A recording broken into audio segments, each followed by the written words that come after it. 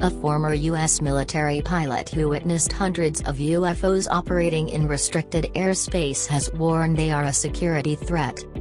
Ryan Graves, a former U.S. Navy pilot, told CBS 60 Minutes that he was among the military aviators who spotted unidentified vessels flying off the coast of Virginia every day for two years, starting in 2019.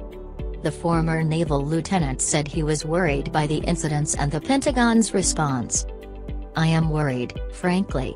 You know, if these were tactical jets from another country that were hanging out up there, it would be a massive issue, Mr. Graves said.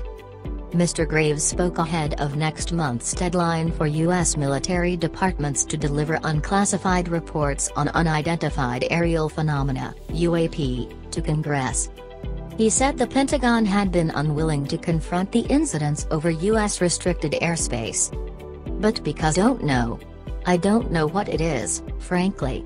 I would say, you know, the highest probability is it's a threat observation program. Some experts believe the mystery aircraft are advanced reconnaissance drones emanating from Russia or China. Retired U.S. Navy pilot David Fravor also told the program how he encountered unidentified aerial objects in 2004 off the Californian coast. He said their lightning speed and handling was superior to his advanced F-18 warplane. I don't know who's building it, who's got the technology, who's got the brains. But there's, there's something out there that was better than our airplane. Last month the Pentagon confirmed the authenticity of photos and video from U.S. Navy personnel, taken in 2019, that appeared to show triangle-shaped objects blinking and moving through the clouds. In August last year the U.S. Defense Department set up a task force to investigate UFO reports. The countdown for U.S. military and intelligence agencies to release what they know about UFOs began in the last weeks of the former Trump administration.